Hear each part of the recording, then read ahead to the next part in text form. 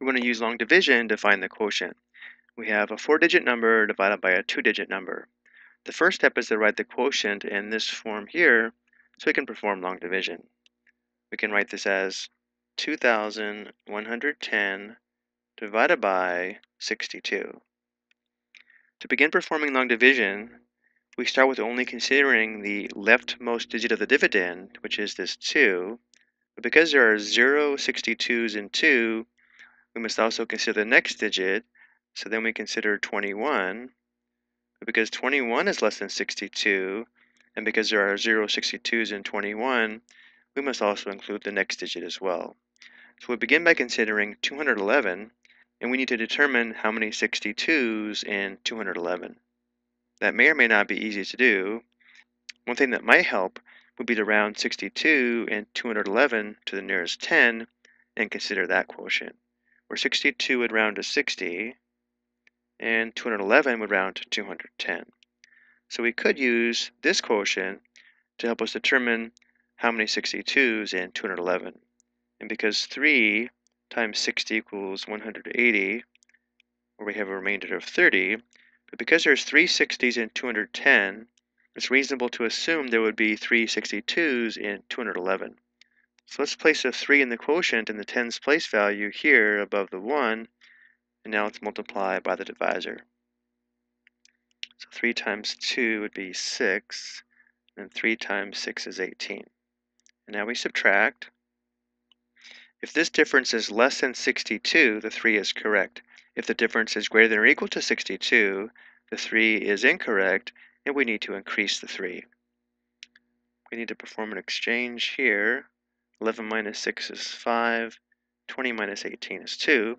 So because the difference is 25, which is less than 62, the 3 is correct. And now we bring the next digit down. Now we need to consider how many 62s in 250. Again, that may or may not be an easy question to consider. Again, if we wanted to, we could round both values to the tens place value, which would give us 250 divided by 60. So again, if it's easier, we could use this to help us determine how many 62s in 250. We're here, because 4 times 60 equals 240, we have a remainder of 10. Because there's 4 60s in 250, it's reasonable to assume there would be 4 62s in 250 as well. Let's go ahead and try that. We'll place a 4 in the quotient in the ones place value, multiply by the divisor. 4 times 2 is equal to 8, and 4 times 6 equals 24. And now we subtract. Notice how the difference is 2, which is less than 62, so the 4 is correct. And we've used all the digits in the dividend, and therefore this last difference is our remainder.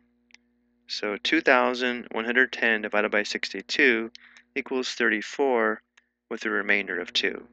So because we have a remainder, 62 does not divide evenly into 2,110, and therefore 62 is not a factor of 2,110.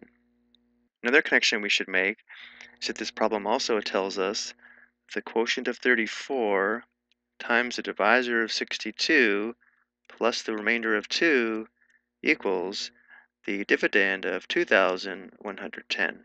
If we simplify the left side, 34 times 62 equals 2,108. 2,108 plus 2 does equal 2,110.